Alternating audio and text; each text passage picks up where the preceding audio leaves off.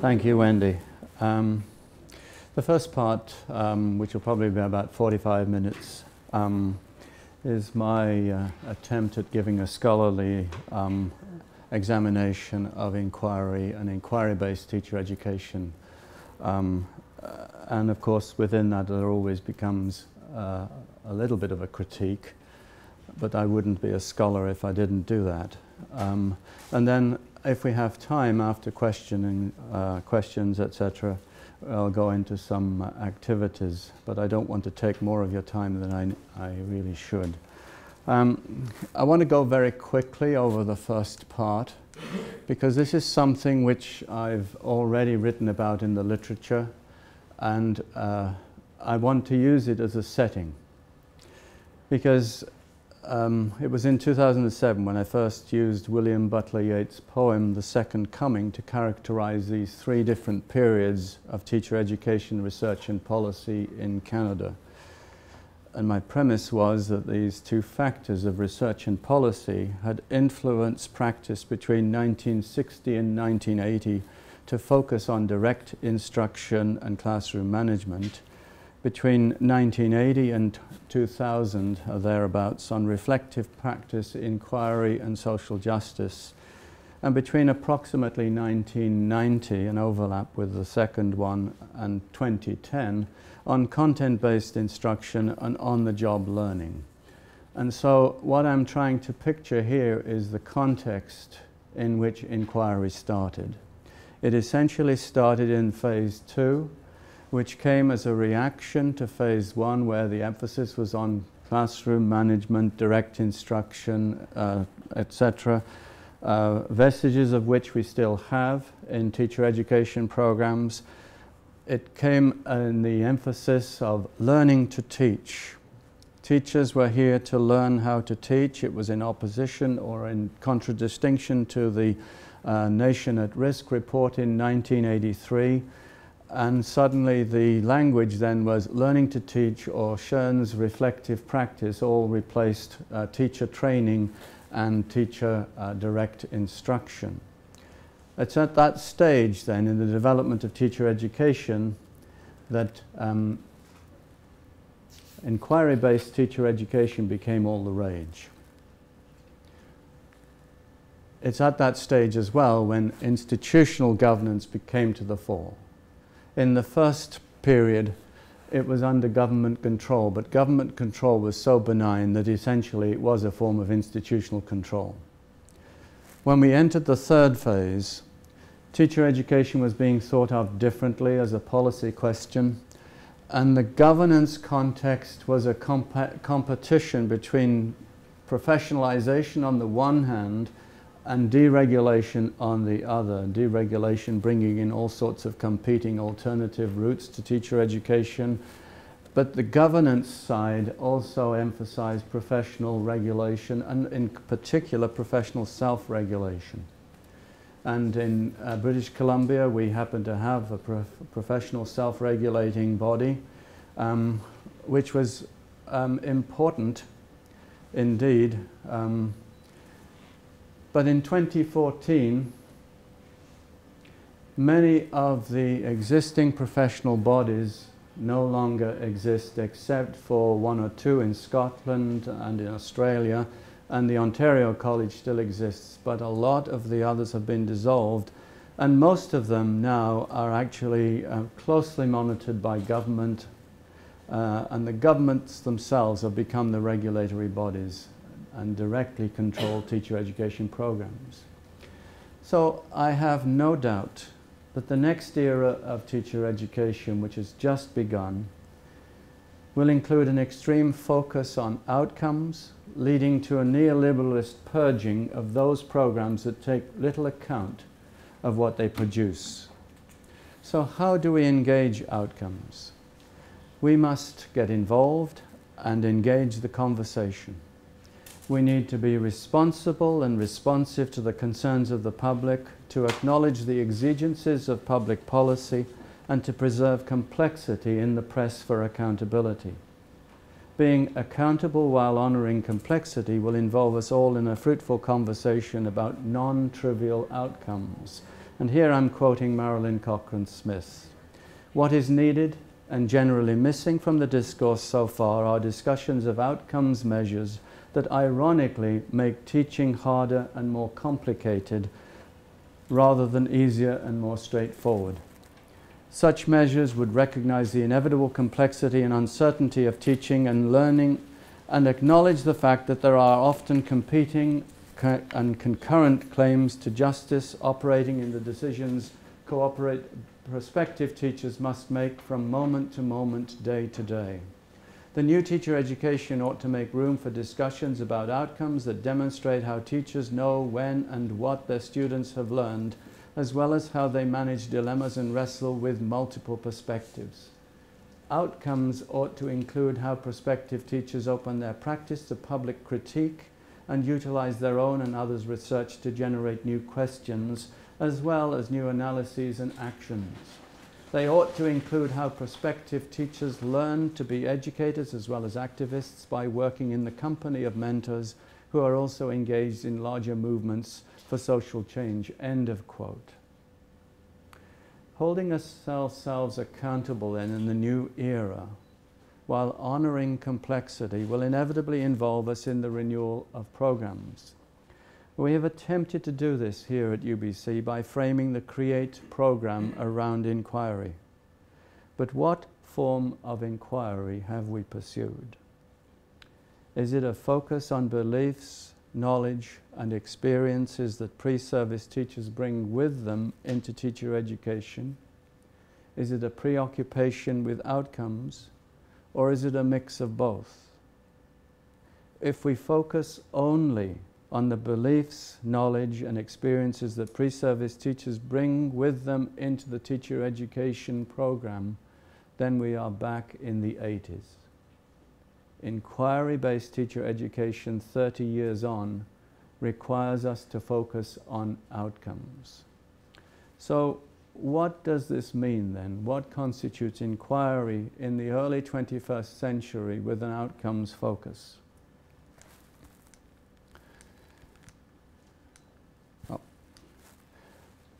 Inquiry always deals with substantive content within a social context. The substantive nature of the exercise consists of either disciplinary content or interdisciplinary themes. The context is framed by the varied social, cultural, political situations in which teaching takes place. Inquiry has never been possible without consideration of both content and context. 30 years on, it cannot happen without attention to outcomes. In the 1980s, as a result of the burgeoning emphasis on constructivism at the time, inquiry focused on pre-service teachers' beliefs, values, and dispositions.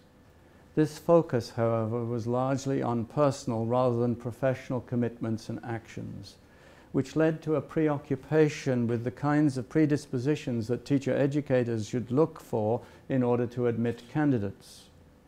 This, in turn, resulted in most attempts at improving teacher education being framed around structural interventions. For example, lengthening the teacher education programs, as has happened in Ontario, or creating alternative routes, as has happened in the States, or altering three credit courses to one credit and two credits, as I believe has happened somewhere.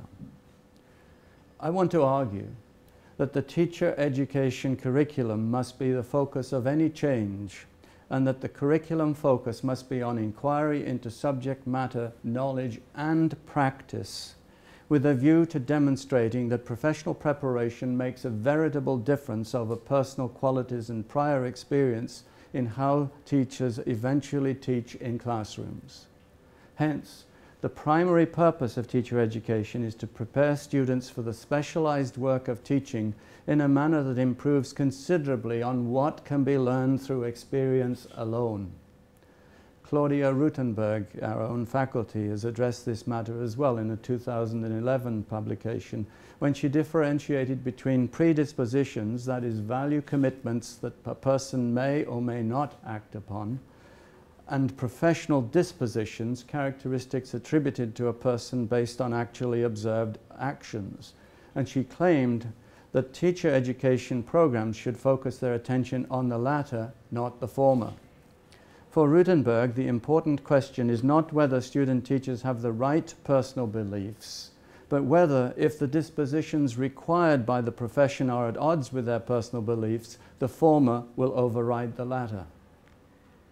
Inquiry based teacher education, therefore, cannot focus solely or even primarily on addressing prior experiences, predispositions, and value commitments that pre-service teachers bring into the professional preparation program. Why? Because the form, that form of teaching is very loosely conceived of as helping other people do specific tasks. The kind of teaching that parents do and many other people do quite regularly. Professional classroom teaching, however, is a highly specialized, intricate work that is separate and distinct from what non-professionals naturally do when they're helping other human beings. Grossman and colleagues put it this way, quote, learning how to build and maintain productive professional relationships with the people in one's care is no simple matter. Yet many assume that this is natural rather than a learned capacity. Someone can be described as good with people or a people person, but being good with people in purely social interactions is not the same as cultivating relationships in a professional role. End of quote. To put it differently, the work of teaching is neither natural nor intuitive. To listen to others closely in order to probe their ideas and identify key understandings and sometimes misunderstandings requires much closer attention than most people by nature afford their friends or family members in everyday life. Moreover, to set out purposefully to provoke discrepant thinking or errors in argument with a friend or a loved one would seem somewhat bizarre and make for many awkward moments in a personal relationship. To teach, however, as Margaret Buchmann has said, is to shift the locus of one's role from the personal to the professional. Even though teaching as helping others is a common activity, becoming or being a teacher is to join a practice community in which the work of teaching is highly specialized, intricate, and professional. Decisions by, taken by teachers have to be based not on personal preferences or intuition, but on professionally warranted knowledge and on the moral imperatives of the role. Hence, the outcomes that inquiry-based teacher education must be working toward in the 21st century are to be framed around the unnatural and specifically professional ways of relating to the creation of learning opportunities for all children and the moral imper imperatives of being a professional teacher. As I said previously, inquiry has never been possible without consideration of both content and context. 30 years on, it cannot happen without attention to outcomes. Discipline-based inquiry must result in new understandings of existing disciplinary norms and or the creation of new knowledge. Interdisciplinary themed inquiry must result in fresh understandings of wise practice and intelligent action that I previously referred to in 1992 as craft knowledge. Hence, any renewal of a teacher education program around inquiry that fails to take serious account of outcomes in the current era when government control of teacher education is no longer benign is inadvertently making the institution very susceptible to outside intervention, if not harsh imposition. The year is 2014, not 1984. In 2014, we live in much more Orwellian times than we did during the actual year of 1984. Thus, to claim that we frame a program around inquiry means that we must be prepared to teach against the grain, to quote Marilyn Cochran Smith again, and encourage difference and diversity of thought. Dogmatism and inquiry make strange bed partners. While inquiry has its commonplaces, it also frustrates a desire for conformist structure and supine action. Rather, it focuses on the attainment of inclusive community responsive pedagogies that is situated in the public personal dialectic between the transformation of individual values, worldviews, ethics, and practice, and the social, cultural, and structural factors that mediate equity and access and opportunity in educational systems. What it must do in 2014, in addition to encouraging difference and diversity of thought, is to focus on outcomes outcomes of learning, outcomes of inquiry, such as wise practice that understands the uncertainty of abstract knowledge and the importance of intelligent action in the classroom. Anne Phelan put it this way Inquiry based teacher education promotes an exploration of concrete particulars as the route to wise practice, becoming more open to practice itself as a site of learning helping aspiring teachers to appreciate the fragility of knowledge, the epistemological value of feeling, and the priority of the particular in teaching. Gert Biesta and Nick Burbules, Gert was here last year, also assert that the purposeful practice of inquiry is to transform actions into intelligent action. Hence, an important outcome of inquiry in 2014 is the extent to which inquiring teachers display intelligent actions in their relationship with content, context, and learners. The outcomes of wise practice and intelligent action complement outcomes framed around inquiry grounded in the Peircean notion of communities of discipline based inquiry being engaged in the construction of knowledge. Burgh and Nichols comment on this Peircean notion in the following way. Integral to the method, quote, integral to the method of the community of, of, of inquiry is the ability of classroom teacher to actively engage in the theories and practices of discipline-based communities of inquiry so as to become informed by the norms of the disciplines, not only to aspire to competence within the disciplines, but also to develop habits of self-correction for reconstructing those same norms when faced with novel problems and solutions. In 2014, then, a disciplinary approach to inquiry leads to the development of habits of self correction in order to reconstruct those norms of the discipline when faced with a novel problem and solution. When conducted well, this kind of disciplinary inquiry typically leads to an interdisciplinary preoccupation with wise practice and intelligent action through a careful examination of the social, cultural, and structural fact factors that mediate equity across educational systems. Hence, teacher educators need to prepare teachers disposed to draw on the accrued knowledge of the profession, for example, the wisdom of practice, and to contextualize their thinking for the challenges of each specific workplace around the disciplinary and or interdisciplinary content under study.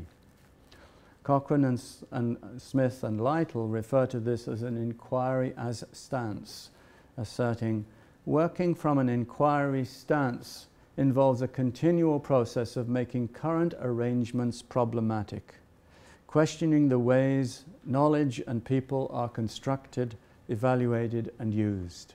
And assuming that part of the practitioners individually and collectively, part of their work is to participate in educational and social change, unquote. So this notion of inquiry as stance in teacher education is distinct from the more common notion of inquiry as project, which treats uh, inquiry as a time-bound activity within a teacher education course Inquiry as stance represents a mindset that is infused into every aspect of teacher education. Its purpose is to cultivate the habits of mind, values, or ground rules of a particular discipline or practice, and both, that make up the distinctive perspectives that are exhibited by that discipline and or practice. And it goes without saying that these habits of mind vary across the disciplines and practices. And so I just very quickly, because I'm going to go through this section, um, want to show you some of the different ways of inquiry. We have philosophical inquiry, and I've already cited uh, Claudia's work. She has two other pieces as well, and I just happen to know Claudia's work because she and I were colleagues uh, at uh, uh that little schoolhouse on the hill. Um, uh, historical Peter Seixas's work, um, his book with Tom Morton as well on uh, the six um, things in history uh, is very important. Historical criti critical interpretive inquiry in the prize-winning uh, piece by uh, Clark, Gleason and Petrina. And um, Wayne Ross as well has really um, taken a fairly critical perspective on social studies and its role in the uh, K through 12 curriculum. But there's also scientific inquiry. We've got Marina Milner Bolotin's work in chemistry, uh, the work of Nashon, Nielsen, and Petrina on um, whatever happened to STS, which I found out from Samson the other night, means um, science, technology, and society. Um, there's lots of work then in this going on. Um, artistic interpretive, that's, those are two graduate students in EDCP, um, Elsa Cote and Marie-France Berard, um, doing lots of things in artistic interpretive work, then Peter Gouzouasis and Rita Irwin, um, and Donal O'Donoghue, I'm just picking things in flavour, but there's also Scott Goble's book on what's uh, best in teacher in music education. What is it, where he proposes an, a vision for how music education should take place. Um, there's moral inquiry, religious inquiry. The only people I could think of there are people like Parker Palmer who've been actually involved or used by people in teacher education um, Parker Palmer, of course, is a Quaker who actually writes about the way in which we relate to one another as human beings. The interpretive um, is where people are actually attempting to make sense of people's lived experience as reported by them. And we've got a number of uh, uh, uh, research uh, aspects where this inquiry has come to the fore. Joy Butler's uh, examination of teaching games for understanding, uh, Samson and David Anderson in their interpretation of students' views of, of science in, in Kenya. And then a disciplinary moral interpretive action inquiry in the form of Anne Phelan, who's actually at this point studying something to do with English. Um, as well as the actual wisdom of practice in her 2009 um, there's an instrumental approach to inquiry, which actually is the kind where you just try and find the best possible way of actually bringing something to bear and then repeating it. Uh, and fortunately, I didn't find anybody in this faculty who did inquiry in that way. I can think of two people, though, and for them I have considerable critique. One is Donald Cruickshank. He's an old guy who used to be at Ohio State who wrote in the early days on reflective practice. And it was always a way of how you can get from A to B. There was nothing complex or problematic. And then action research. I don't know whether any of you ever remember Richard Sagor. Uh, but Dick Sagor really spoiled action research because he made it into an instrumental way in which teachers could actually get involved in school improvement by collecting data and analyzing it, but not for the purposes of making it problematic or critiquing, but in, for the reification of the existing status quo. Um, there's deliberative, and the person that comes to mind in terms of that is Amy Gut Gutmann. Deliberative inquiry is when you don't really know. You're faced with a forced choice and many different uh, possibilities, and you have to decide amongst the various options and uh, Amy Gutmann has written about deliberative inquiry and democracy, a very, very important book. And then you've got action, interpretive action inquiry. And one of the studies I found was by uh, Chatri and Tony. Um, I said it that way because I can't pronounce Chatri's last name um, self-study, which is very, very prevalent in teacher education today, where people are studying their own practice and bringing things to the fore, which is a very, very powerful form of inquiry. Uh, and Anne has done that as well in one of her pieces, Toward a Complicated Conversation, showing, showing how turning to curriculum actually has a, an effect on our understanding of teacher education. And then there's this last one as well about the teacher education conversation, which Wendy Nielsen headed up, but essentially involved uh, Valerie Triggs and um, uh, Tony as well. Um, so a lot of things are happening. And um, it's always dangerous when I actually pinpoint um, research of, of people because there'll be somebody else who'll come along and say, oh, you didn't include mine. Um, and so to those people, I apologize. Um, I did find that Wendy had done something on flags uh, and French immersion, and I think that that's uh, another interesting sort of and very worthy and laudable approach because we need to expand on our French uh, teacher education program. But let me move on because I want to get to the, the real gist of what I want to say.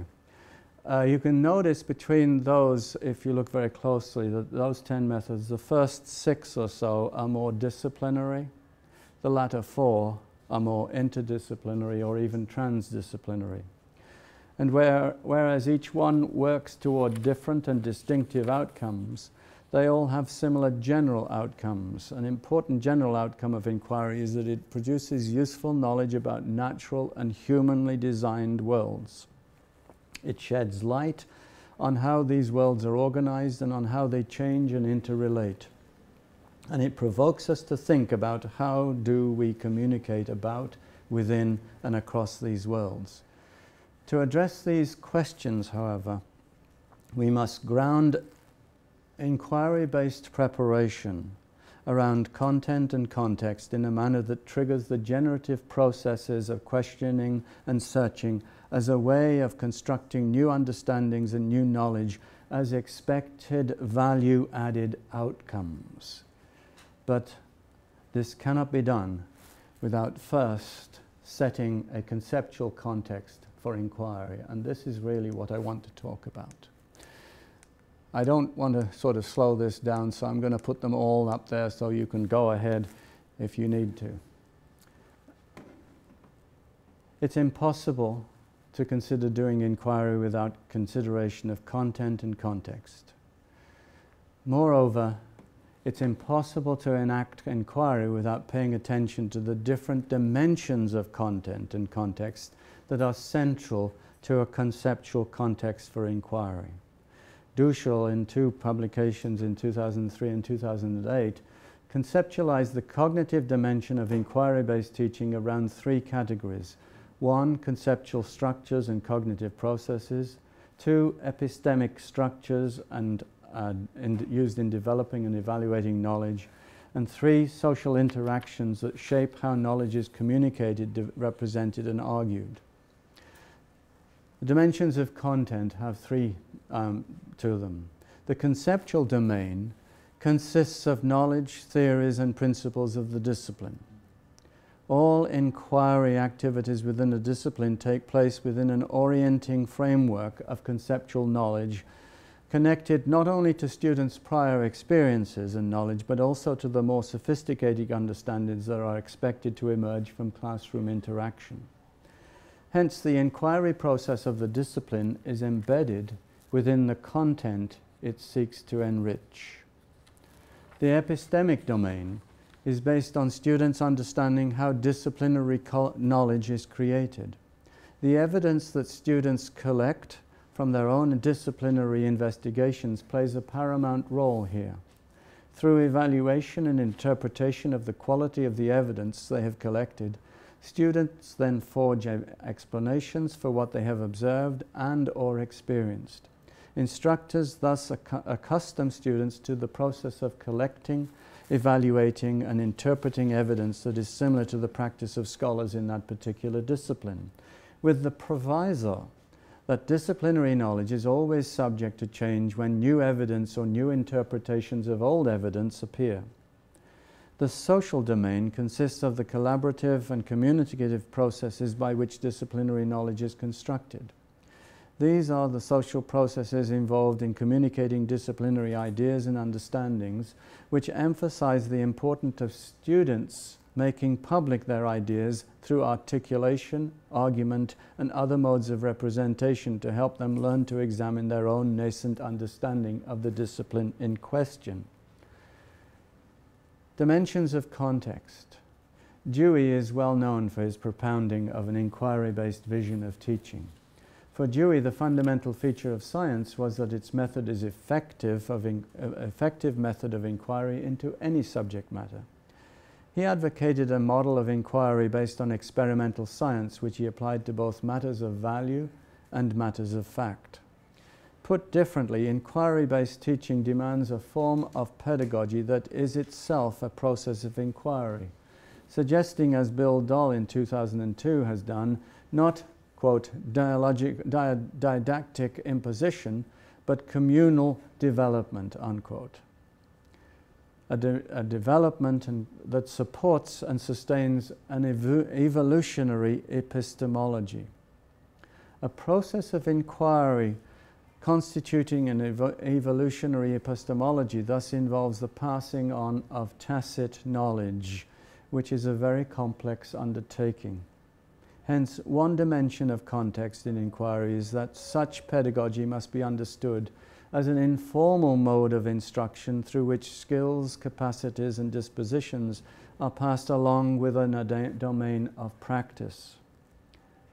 Hence, an inquiry based pedagogy consists of knowledge that is largely tacit in nature and contextually embedded in shared practice.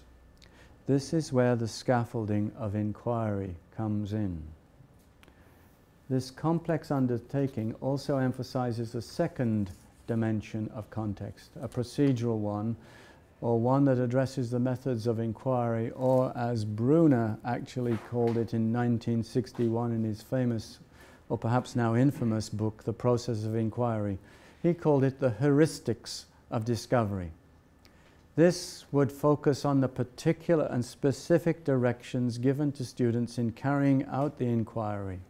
That is, directions addressing the kinds of questions they need to frame, the procedures they need to follow, the form of representations of evidence and interpretation they should be collecting and creating, etc.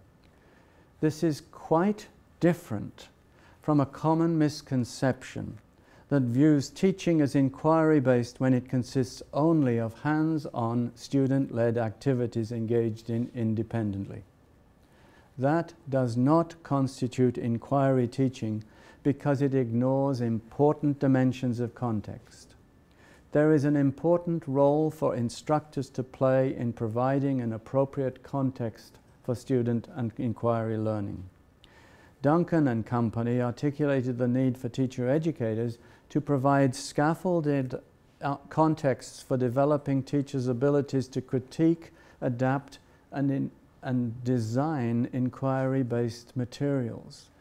So, one of the features that they're saying is really important if we're teaching inquiry to would be teachers is to teach them how to critique, adapt, and in design inquiry based materials.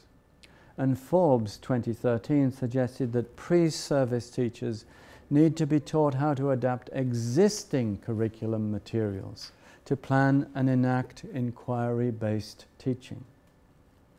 A third dimension of context entails a critique of those social cultural factors uh, that really mediate across the educational system. Such a critique involves a critical examination of lived experience, describing a particular situation, appraising how and why it came to be this way, and powerfully pursuing the question of whose interests are and are not being served by the way things are currently constituted, so that the situation can be reconstituted in a way that addresses its inequities. And I found three examples of this kind of research going on in the faculty. One by Don Krug with a partner, Journey of in Critical Inquiry and Professional Learning, telling tales of community arts, aesthetics, and cultures one by Deirdre Kelly, um, a critical inquiry and an anti-oppressive approach to teacher education, and one by Teresa Rogers and Elizabeth Mar uh, Marshall. Elizabeth is a former colleague of mine at SFU too. On the Road, examining self-representation and discourses of homelessness in young adult texts. And one of the, the ways in which, for instance, I'll take the last one, is critical is they unpack the way in which, in those texts, the definition or understanding of homelessness is somehow connected to blaming the victim. And they, they free in that critical analysis the notion of homelessness from the context that's in being built in actual texts designed for adolescents in schools to suggest that we need to reconsider that and that it may in fact not be the, the, the outcome of a person's choice, but that there are other ways of understanding what homelessness actually means. And so, with these, there's also not only a critical element, but it's also an attempt to bring some kind of understanding and compassion into the understanding of would be teachers. So, I want to talk then about scaffolding the conceptual context of inqu- inquiry. Thus far, I've talked about the 10 forms of inquiry that on a continuum fall into ten, two broad approaches those that concern themselves with the disciplines and those that concern themselves with practice in an interdisciplinary fashion. Let me ad- elaborate on these two broad approaches to inquiry by addressing the following questions. Why is inquiry teaching difficult? Why do inquir- in- inquiry oriented teachers have particular difficulty with the focus on outcomes? Why is it typically easier to focus on the process of inquiry? And how do we scaffold the conceptual context of inquiry to ensure that a focus on outcomes becomes possible? Now, Krauss reviewed the literature in 2008 and found the following factors constituted barriers to inquiry based teaching time, teacher knowledge of content, teacher knowledge of inquiry, pressure of high stakes testing where it exists, adequacy of resources, and conflict in learning styles. Most of these reflect a general focus on the implementation of inquiry at a surface level. I want to focus on two of them teacher knowledge of content, teacher knowledge of inquiry, because they permit us to look more deeply inside the implementation by examining how teachers prepare the content and context of inquiry. I contend that a lack of teacher capacity and capability in knowledge of content and knowledge of inquiry makes for most difficulty in teaching because it inhibits the requisite scaffolding of the inquiry uh, context. Let me explain.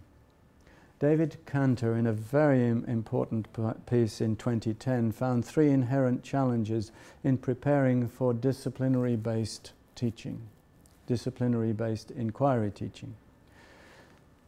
One was creating a need on the part of the learner for unfamiliar content. Two was ensuring that all the target content is useful for completing the inquiry task. And three, accommodating the time gaps between the introduction of and work with content. Let me talk about them briefly in turn. Creating a demand for unfamiliar content on the part of the learner. In many instances, the requisite content for undertaking the inquiry is unfamiliar to students. Consequently, many students cannot easily see how working with this unfamiliar content would be useful in conducting the inquiry. Teachers, however, are aware of how important such content could be to provoking questions and insights. So, an initial challenge for teachers is to create a demand. But teachers cannot create such a demand by telling students to trust them because they would eventually need such content for the inquiry activity. Rather, students have to have the opportunity to work through for themselves that a certain content would be useful for performing the activity itself well.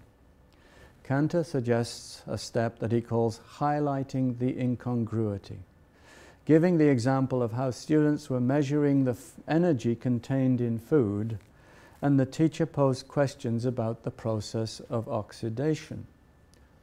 Almost seemed as if he was off on left field.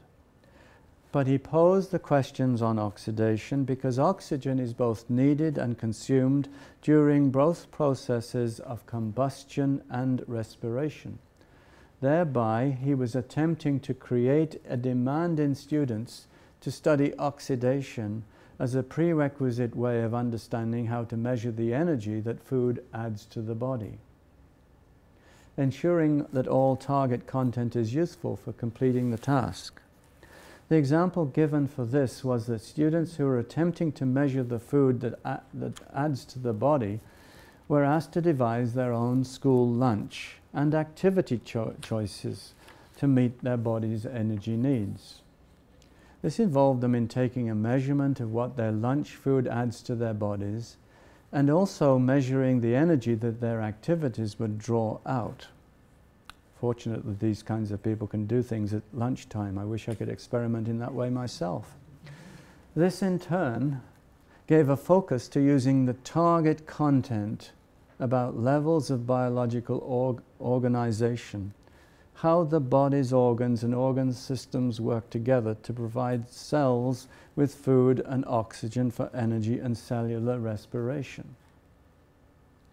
And the third one he talks about is accommodating the time gaps between the introduction of and the work with content.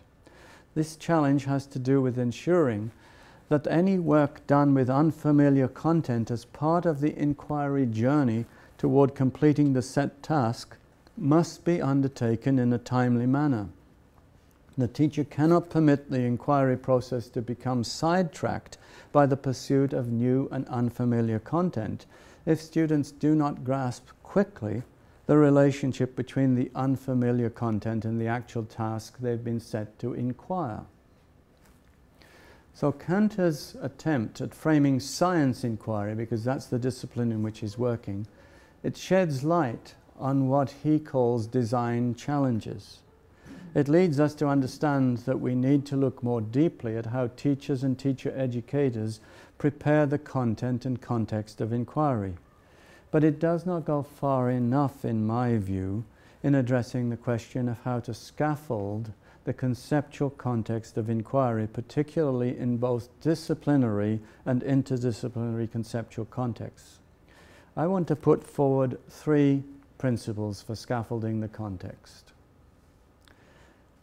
One, context is important and makes a difference. Two, content is constructed and therefore open to interpretation. And three, the paradox of clarity and messiness in the articulation of meaningful tasks. Let me talk about context first. Context is important because no two contexts are ever alike. Each context brings with it a particular cultural capital. Not only are teachers and students influenced by context, but context may also provide the impetus and purposefulness, or lack thereof, for doing inquiry in the first place. So we attend to context because that's the culture in which inquiry takes place. For example, we experience events differently dependent upon the setting in which we find ourselves. Being present at the scene of an accident is very different from watching a video of the same accident on the news. Thus, the meaning of inquiry is frequently contingent on the context that is set by the teacher. Context is also social. The social context is a myriad of systemic embedded cultural processes that influence our perception and understanding of the world. These influences are typically ascribed gender, race, ethnicity, sexuality, or class, etc. They may be achieved, it's a position in the hierarchy, or maybe some sporting achievement is distinctive and they also vary over time. Hence, the historical and contem contemporary dimensions of social context are vital. Contexts change. People's positions within context also change. Inquiry teachers therefore need to take account of context for students to engage in the activities of instruction. For inquiry thrives on contention and contention always happens in a social context. Inquiry teachers need to hook students into respectful contention. Content is interpretable. When planning for inquiry, we have to have interpretable content. Why? Because content and knowledge is always constructed in social settings. Hence, the social context in which knowledge and or contact is constructed also provides a myriad of possible alternate interpretations.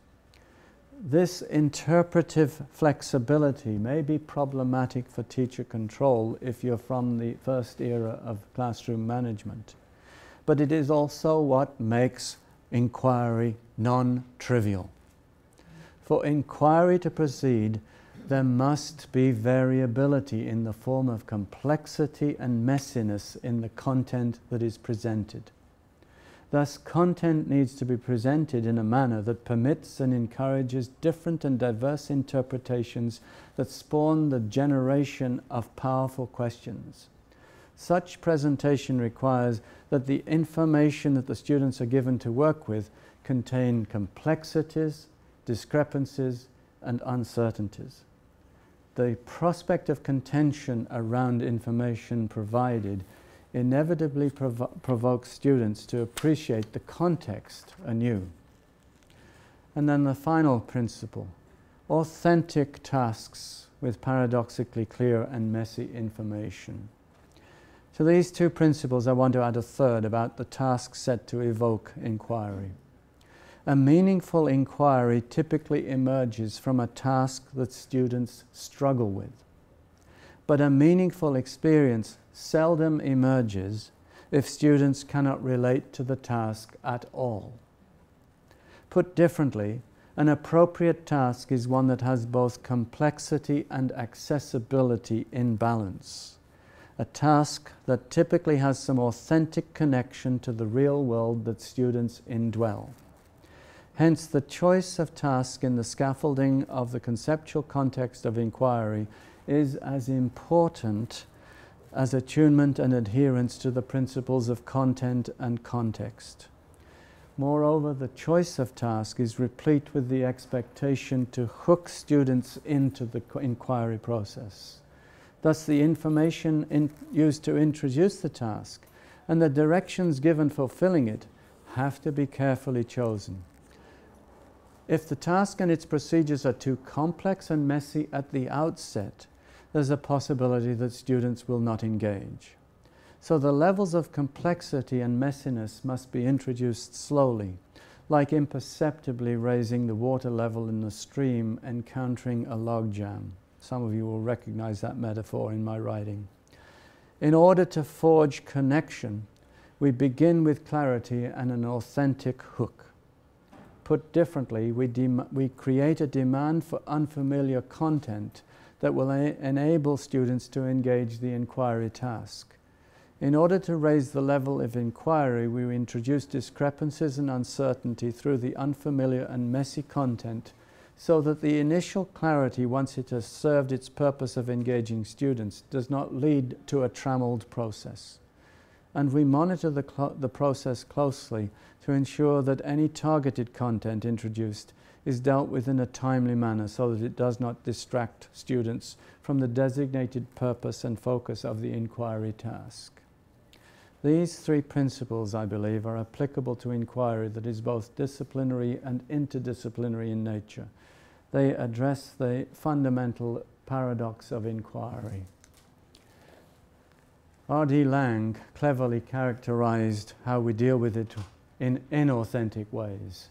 I'm coming to an end. There's something I don't know that I'm supposed to know.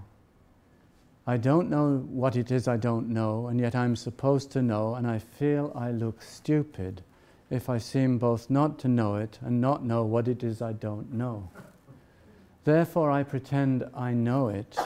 This is nerve wracking. Since I don't know what it is I must, what I, what I must pretend to know, therefore I pretend I know everything.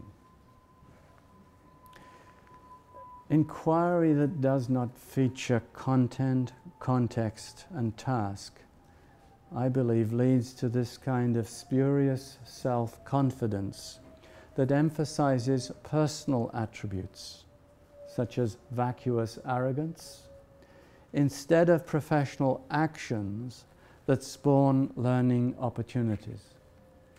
Highly specialized knowledge about the intricate nature of professional teaching comes from grappling with what we do not yet understand. Socrates provoked Meno to grasp the quintessential feature of the paradox of learning a new competence.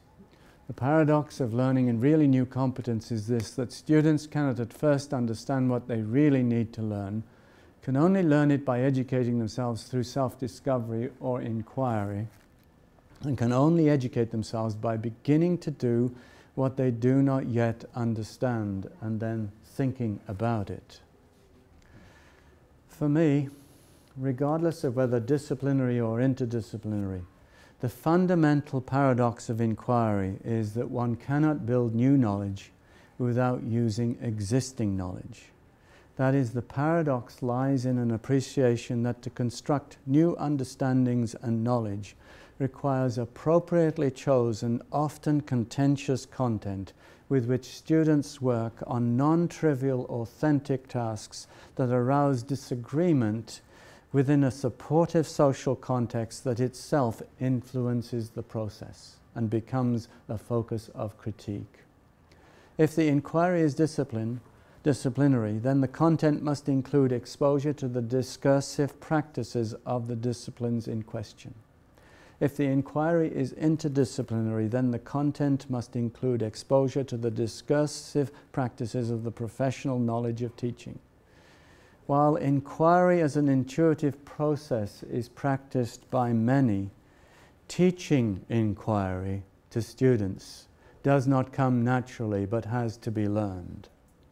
When we frame teacher preparation around inquiry, we are committed to inducting pre service teachers into the practice community in which the work of teaching is highly specialized, intricate, and professional.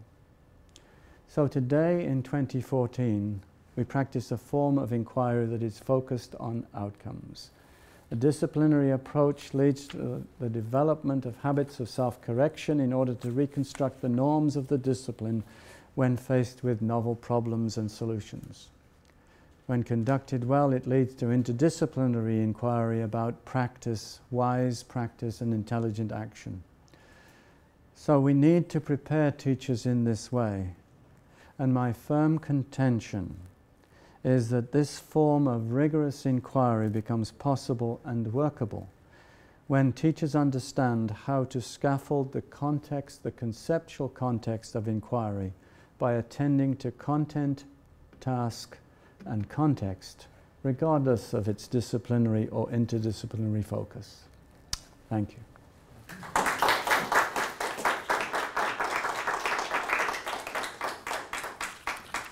Now, those of you who need to disappear, you may, but I'm open to questions. And then I wanted to, I have three examples that I could actually share with you, but we'll get to that if we have time. And I don't want to force or impose anything on anyone.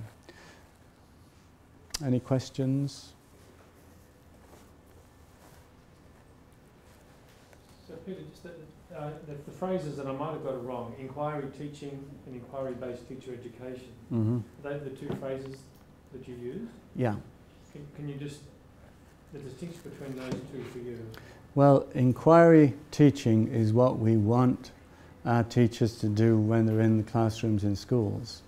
Inquiry based teacher education is where we're attempting to induct them into the practices and understandings that accompany inquiry teaching. Okay, right? And I'm, I guess if I'm being perfectly frank, that's a, I should say candid in this faculty, uh, perfectly candid. Um, I'm not entirely convinced that we know how to induct people to inquiry teaching as a form of their rigorous preparation while they're in our midst. I think that is what is flowing through my paper, and it is not a, a, criticism of any one particular program or institution. I think it's just a critique of the state of affairs. We are being expected now to focus on outcomes.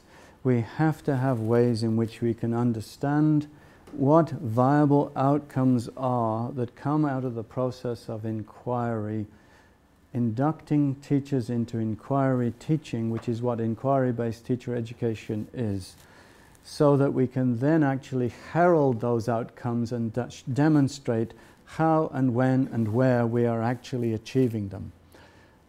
And if we could actually do that and articulate it and explicate it in a way, I think we could shout that from the rooftops, we could get that out into the media, and I think we would have a lot of students who would want to come to this place because this is where inquiry based teacher education takes place. And one of the concerns um, I have about inquiry based teacher education it's very similar to the concern I had about reflective teacher education. Um, it, there's a tendency it can become co-opted because it, it, it's kind of like it's trending.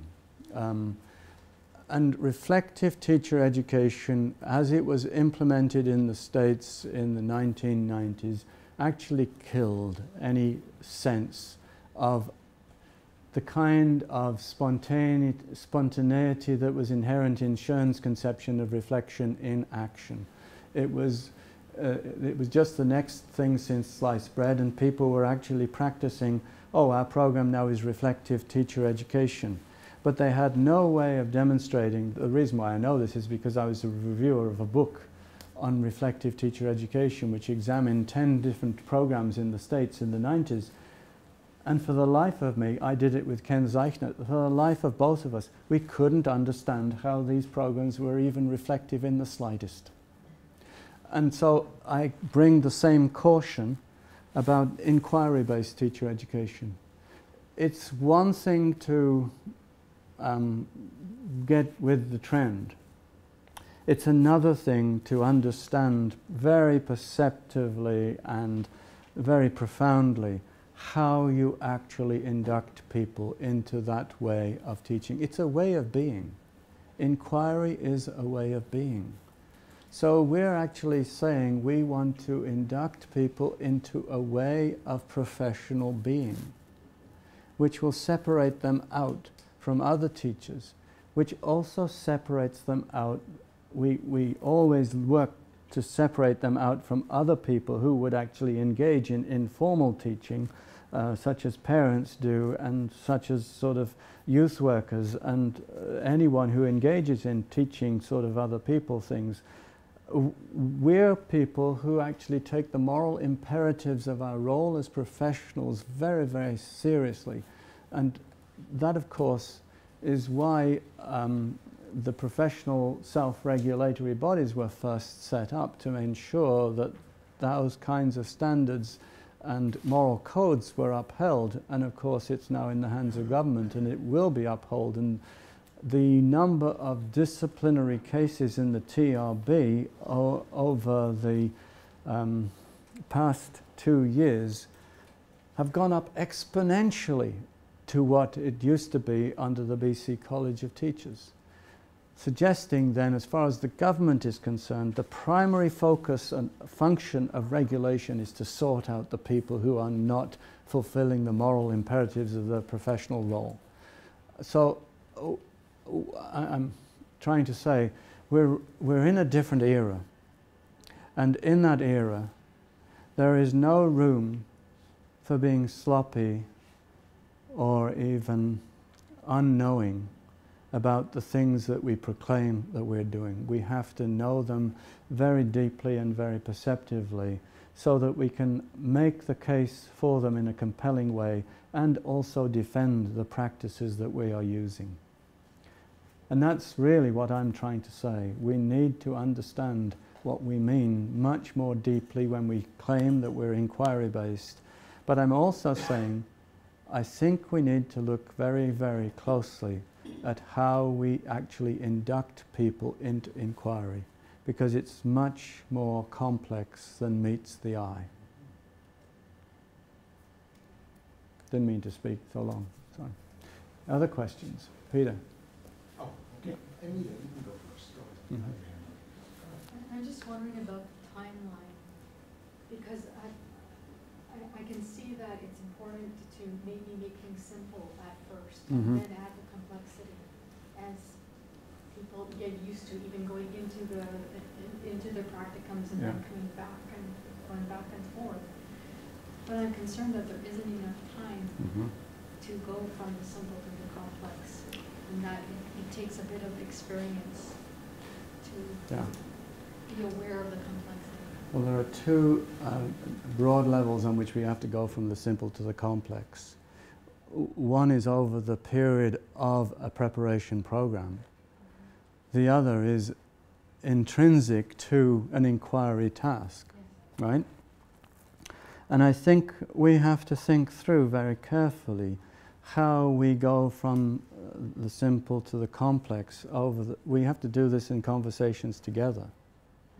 Uh, uh, in terms of the, the how things uh, uh, the transitions work out in the course of the program.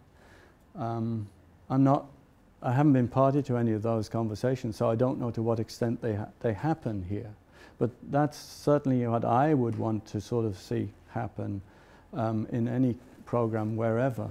But in terms of when an individual teacher is inducting students into inquiry, I, I think you have to understand the task and the content and appreciate the context extremely well so that you can almost develop the art of knowing when you move toward more complex information when the students are ready that the, their, their whole thinking can be um, messed up but it's got to be um, it's got to be carefully um, constructed because one of our moral imperatives is not to mess students up we only mess up the co- task context so that it actually um, it, it, it produces the motivation for them to resolve the, um, the, the, the what, what's it called? Sort of the, um, well, I'm thinking of music now. When two notes come together, and then you have the resolution of that. What's, uh, you know, I mean, uh, what's, what's the musical term? I've forgotten it. From dissonance to the. Well, From, yeah, when you resolu- re- resolve the dissonance, the resolution of the dissonance, right? So it, the same thing actually happens in teaching. You, you can introduce some dissonance, but you have to ensure that you give students the, the wherewithal to resolve it as well, to their own satisfaction. But sometimes you want to leave them as well with an unresolved situation which provokes more questions. Um, and it, this is all part of how we act as knowing inquirers when we're teachers.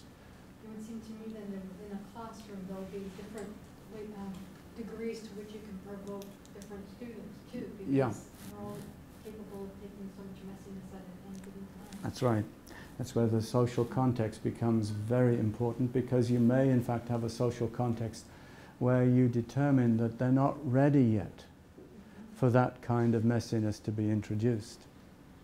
On other occasions, you may, in fact, see that uh, they're ready for it. Um, uh, classroom social context is not that different from the social context of an academic unit. You have to know when you can actually introduce discrepant information for the purposes of generating discussion and debate, and when in fact that would not work because people aren't ready for it or people have got a particular agenda where they distract and take it off. Um, and that can always happen in the classroom. You have to know your social context. Who actually is uh, one of who who are the informal opinion leaders? How will they respond to it? Uh, and sometimes those are the people whom you've got to get on side in a particular contentious setting in a classroom so that in fact it goes according, it keeps a, a focus on task, right? You got this on tape? We got this on tape? Of course. Yes, we do, yes. It's the off the cuff remarks which always gives things away, eh? So I'd like to keep the suspension going, Yeah. um, a series of uh, suspensions, I should say. Uh, You cited uh, the paper that I co-authored with Rita Mm-hmm. and two pre-service teachers who became teachers. Mm-hmm. And uh, much of what you say resonates with what was in the paper. Uh, People coming into this notion of inquiry with a very strong arts background, and then uh, engaging with a form of inquiry, that inquiry which was arts-based Yeah. inquiry. Mm-hmm. So their understanding of their artistic backgrounds blended with arts-based inquiry made it a very powerful thing um, and that they, there were at least three points where the student, where, where these teachers reflected on their, their inquiries. One was while they were actually pre-service teachers, um, when they first did the inquiry, Mhm. not knowing then that later on in their practicum, they would apply that which they inquired upon in Mhm. their practicum. Mhm. And then a year later, when they came back and revisited, and uh, when I interviewed them and asked them to reflect on Mhm. those two stages of, the of, two stages of the process, as well as where they were at now. Mhm. And everything you're saying um, uh, about process, the need for the content, the product, um, is so true. Um, And that the people who were engaged with teaching inquiry, myself, bringing experts like George Beliveau and Rita and Mhm. um, um, Don- Donald O'Donoghue and uh, Carl Leggo and a few others in to, um, to work with the pre-service teachers to give them a taste of what it was all about, and having cohort leaders like Anne Marie Mond and uh, uh, Colleen Nabin, who worked with me for the first three years, um, taught me so much in terms of what was necessary to, to set the frame. Mhm. Um, and the fact that it did, never worked as well the last two years, it didn't work as well because we, we didn't have the frame, um, we didn't have this, uh, the people, the kind of deep understanding that, the- that, that the professors, the instructors need to bring to the process with strong content backgrounds Mhm. just fell apart. So I see that happening, I can see that Yeah. happening more frequently than not. Um, uh, You know, the tension not being able to be resolved and uh, Yeah. because the, the, the expertise isn't there to lead the process along. Yeah, you've introduced another concept which I actually didn't use but do subscribe to, and that is you do have to have some content expertise to lead inquiry well. Um, you, you, you can't lead inquiry into something you know very little about, unless, of course, you're attempting to learn from the people who are inquiring, in which I think you're honor bound to make that explicit. But if you are the teacher, students typically um, expect you to bring some expertise to the, uh, the setting as well. And that one type of inquiry can't be prescribed. No. that there are many different types of inquiries, so depending on the instructor's expertise or Mhm. instructors, uh, what they bring to the endeavor um, uh, needs to be um, understood and, um, and proliferate. Yeah, uh, you see, I, one of the things which I'm really keen on is to, um, I guess, attempt to eradicate the division between disciplinary and interdisciplinary inquiry. I, I think both are forms of the same sort of um, process. And in my own way of thinking, lead into the other. Um, so if disciplinary um, inquiry does not somehow lead in education to a grappling with questions of practice, then I want to um, be a critical friend in that situation. But I also want to be a critical friend with the person who only wants to examine practice and somehow, um, largely I guess because of the R.D. Laing sort of factor, doesn't want to engage in any kind of discipline. Um, our, our history and our disciplines always come with us and infuse the present. And even if our main preoccupation in the present is with inquiry into practice, which is what is true of my, myself, um, or it used to be um, before I became a head, um, then I cannot suddenly make as if the disciplinary backgrounds that I was trained in don't exist. That's almost akin to suggesting that um, when I uh, when I came across from Britain to Canada, I changed cultures like I was taking off a shirt and putting a new one on. It doesn't work that way. Who you are shapes you, forms you, and then imperceptibly changes you. So now I'm horribly in that mid Atlantic phase where people can recognize I speak like a Brit, but the British people particularly recognize I don't think like them, and thank goodness for that. Uh, and I think what, what is, that is analogous in a certain sense. You, you work, we all have discipline backgrounds, and we want to work that disciplinary focus into a concern with interdisciplinary themes about wise practice. And I want, uh, what I'm really uh, trying to say is, I dislike pe- people setting up adversarial conditions between the two because I think they all go together as forms of inquiry. and some people will have different emphases at different times in their careers. But all of those emphases are very important. And particularly, I think, for those areas of a school system where subject matter expertise is important. So, for example, if I take French as an example, if you're going to uh, inquire into French and you are not a francophone speaker, it seems to me that's going to be very difficult work to do.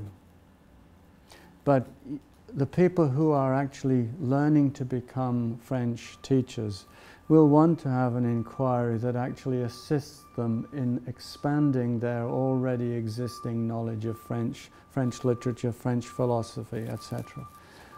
And so inquiry in, with those kinds of people is to take them through the discipline that they need to have because that's what they need to get the jobs that they want but also then leading them through that into a preoccupation with wise action in the classroom. And one of the difficulties that we've faced in BC, we're finally now getting out of it, is that a lot of the early days of French immersion teachers were people plucked from Quebec into British Columbia without any teacher preparation in either province and therefore the only thing they had going for them was in fact content expertise. And their manner with children left sometimes a lot to be desired. And it's unfortunate that that's what happens when we divide discipline knowledge as distinct from pedagogical knowledge. And we need to bring the two together. And that's essentially what inquiry enables us to do um, Shulman coined the phrase pedagogical content knowledge. It has all sorts of difficulties conceptually, but it is in fact a good way of trying to grapple with what we're, we're working towards in teacher education. We want to bring the knowledge that comes out of the disciplines into pedagogical ways of connecting with the minds of learners. And I believe inquiry is central to that. Well, That's probably a really good place yeah. uh, for us to thank Peter for provoking us, because that's what he promised he would do, and that's what he has done, uh, and pushing our thinking about inquiry to a, a, a broader place, a deeper place. And uh, we have a lot of work to do, Peter. And you know that, and that's why you, you came to talk to us. So on behalf of the Year of Teacher Education, please join me in thanking Dr. Grimmett. Thank you.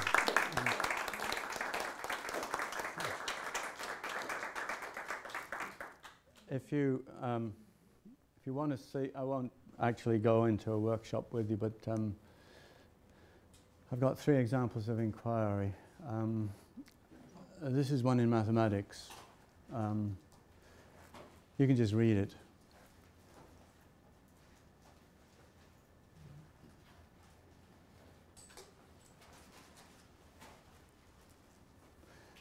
And the, the purpose of this one is to get people out of the mindset of a 10 base numbering system. And it's to get them to play with numbers by substituting different symbols because the number is a symbol. So you put a different symbol in there and you actually change the number base so that they can begin to understand the thinking that is behind what is taken for granted in our numbering system, right? And I mean, along with that, you have to sort of put in, uh, you need some blocks as well so that people can play around. But can you see what uh, the blocks are doing? Um, and the whole point of it is um, to get at periodicity and place value. and it's to teach this. That's really what a number is. Do you understand what it's saying? The place value is in the middle, and on either side of it, the numbers, whether they're algebraic, numerical, or what, are all by the power to n, which is represents number. That's something if you want to get people to play with numbers, right? And the idea is to introduce inquiry playfully so that people can play with in mental and intellectual agility. Um, this one um, is, is more of, um, of a hook, right, in English. This is one story.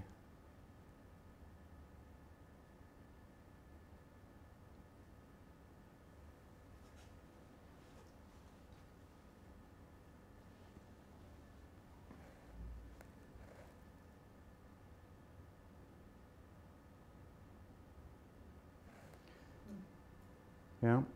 Can I switch to the second story?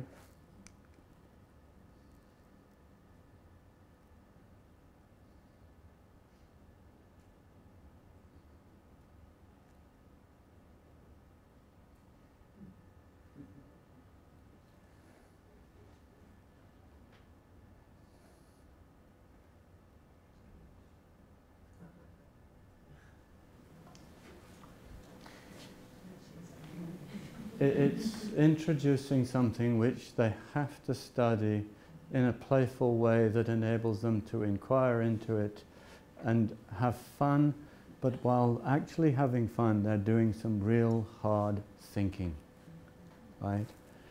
Um, and this last one is interdisciplinary, and it's one that I have used as recently as four or five years ago.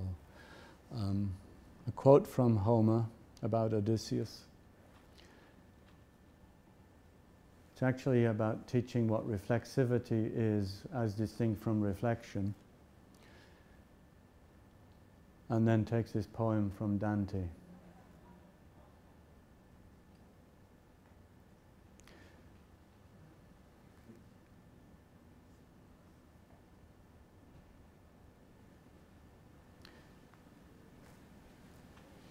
And I use it to teach student teachers hope in different, different and difficult circumstances. When they're faced with the class from hell, how do you find goodness there?